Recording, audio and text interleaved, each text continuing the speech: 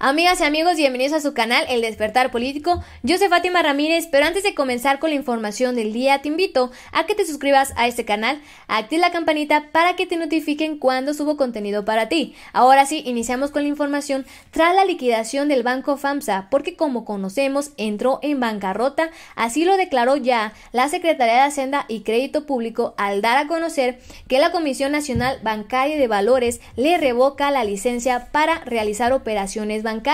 El tema no es nuevo. Desde hace años se le han hecho señalamientos porque ha tenido una mala administración y comete irregularidades en contra de la normatividad mexicana. ¿Qué sucederá con los créditos que tienen eh, pendientes las personas, con los depósitos, los ahorros que tienen los usuarios? Quédate conmigo, de esto vamos a estar hablando el día de hoy e iniciamos primero con esta nota porque ya hay reclamos de los usuarios. Casualmente se cae página que devolverá ahorros a clientes de FAMSA. El banco FAMSA dejó a sus clientes sin sus ahorros. Los desprotegidos cuenta, cuentavientes piden apoyo de autoridades para poder recuperar sus ahorros. Ahora, ¿qué más lo que necesitan para la difícil situación? El primer día para el registro de pagos a clientes de Banco FAMSA, usuarios denunciaron que la página habilitada por el Instituto para la Protección al Ahorro Bancario no funciona y que es imposible realizar el trámite para la recuperación de su dinero. Ya hay declaración también de esta del IPAP y dice lo siguiente: el portal de pagos IPAP ya se encuentra activo, sin embargo, por el elevado número de visitas estamos experimentando momentos de saturación temporal. Te recomendamos tener paciencia y continuar con el registro en el transcurso del día o días posteriores. Para comenzar, ¿qué es el IPAP? Es un instituto del gobierno federal que se encarga de administrar el seguro de depósitos bancarios en beneficio y protección de los ahorradores.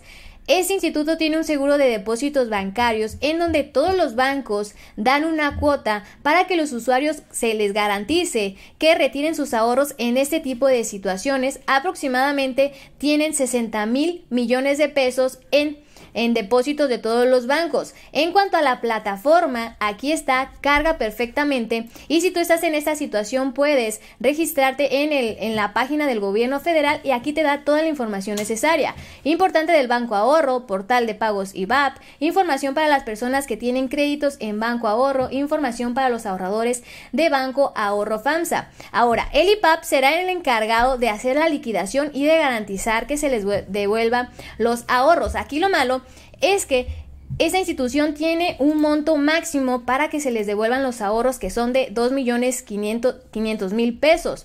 Entonces, si hay un usuario que tiene que rebasa de esa cantidad, sí se le va a perjudicar porque no se le va a devolver todo su dinero. Tendrían que esperarse a que se haga la liquidación y judicialmente, pues pelear, luchar por esos ahorros y sinceramente es demasiado tardado. Ahora, sobre los créditos, los usuarios tendrán que pagar mensualmente porque como sabemos el manejo de los bancos es que te prestan dinero de los mismos usuarios, entonces los perjudicados seríamos nosotros mismos. En la plataforma ya del Banco FAMSA aparece este aviso y dice así, información importante, el Instituto para la Protección del Ahorro Bancario, el IPAP, informa a los clientes del Banco Ahorro FAMSA, derivado de la revocación de las autoridades para organizarse y operar como institución banca de banca múltiple o Banco Ahorro FAMSA por parte de la Comisión Nacional Bancaria de Valores, el IPAP, inició el primero de julio del 2020 el pago de las obligaciones garantizadas de los ahorradores de Banco Ahorro FAMSA.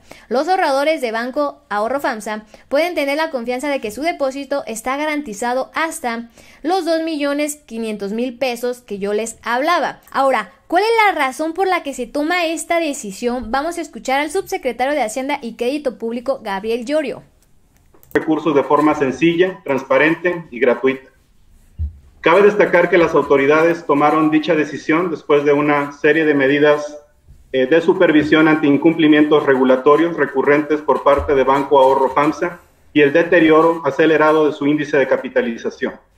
Desde hace más de un año se detectaron desviaciones normativas del banco que lo, han llevado, que lo han llevado a caer en múltiples incumplimientos. Entre ellos, número uno, operaciones con personas relacionadas relevantes por encima de los límites regulatorios y sin cumplir con los requerimientos de deducción de capital. Número dos, la disminución en el índice de capitalización, el ICAP, de tal forma que lo hizo caer muy por debajo de lo permitido por la normatividad aplicable. Y número tres, una gestión de riesgos fuera de las adecuadas prácticas bancarias que caracterizan al sistema mexicano y que no estuvo alineada con el marco normativo. Es primordial eh, reiterar que dichas deficiencias mostradas por Banco Ahorro FAMSA iniciaron con mucha anterioridad a la actual coyuntura financiera y económica. Fueron observadas por el supervisor desde el 2019 y de hecho algunas de las desviaciones normativas eh, del banco fueron previas a 2018. Es decir, el caso no obedece a los efectos de la contingencia sanitaria, sino al incumplimiento del banco de los requerimientos regulatorios necesarios para mantener sus adecuados niveles de capital y liquidez.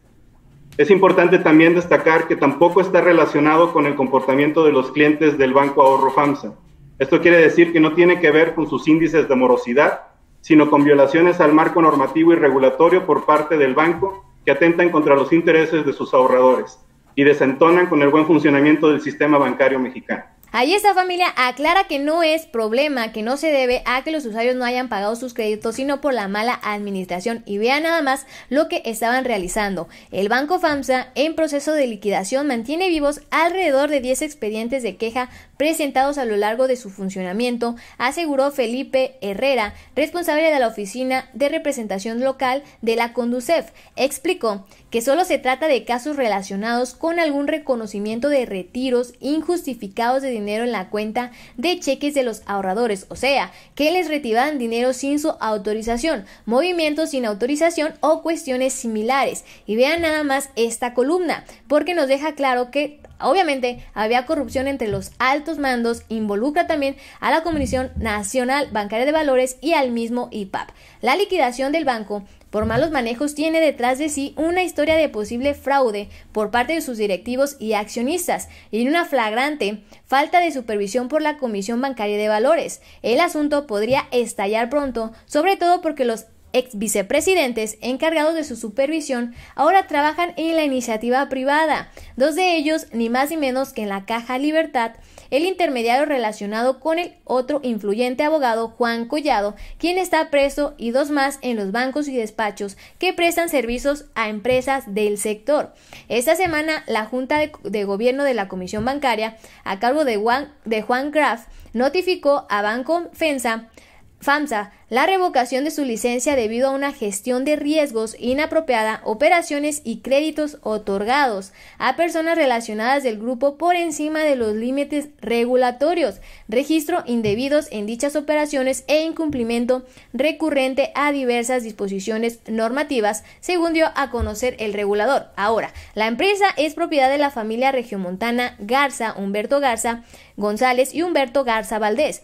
Tuvo recurrentes incumplimientos regulatorios sobre disposiciones normativas desde el 2016 y en ese tiempo pues las autoridades no hacían nada al respecto. En ese entonces la vicepresidenta de normatividad de la Comisión Nacional Bancaria encargada de supervisar, ojo, el cumplimiento de bancos como FAMSA era Margarita de la Cabada una abogada de la Libre de Derecho que fue directora jurídica del IPAP y que tras su salida de la comisión se fue a un despacho privado desde el que asesora a empresas del sector. Se dice que una de estas es el Banco FAMSA. La quiebra de este banco afectará a 580.774 ahorradores, a los cuales terminará rescatando el IPAP con recursos provenientes de los depósitos que recibe mensualmente por las instituciones bancarias.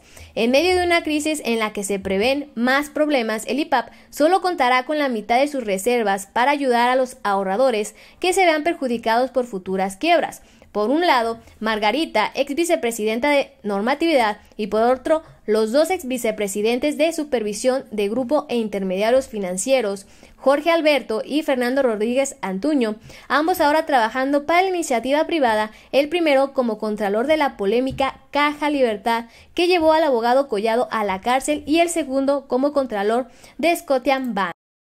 Ahí está familia, por eso el presidente Andrés Manuel López Obrador se opone a que los servidores públicos que tienen cargos importantes terminen y se vayan a la iniciativa privada. Vean nada más, otorgaban créditos a empresas de su mismo corporativo como fueron los préstamos otorgados a las cadenas en Estados Unidos, realizaban liquidación de operaciones relacionadas mediante la entrega en pago de terrenos y propiedades cedidas por accionistas, pero algunas de esas propiedades tenían hipotecas pendientes. Ahora le quieren echar el muertito Andrés Manuel López Obrador diciendo que nos estamos volviendo el nuevo Venezuela cuando vimos que se debe a la mala administración y corrupción que tenía el Banco FAMSA y aquí está la declaración del subsecretario. Riesgo el funcionamiento del sistema de pagos del país y tampoco genera efectos negativos serios en otras instituciones de banca múltiple por las siguientes razones.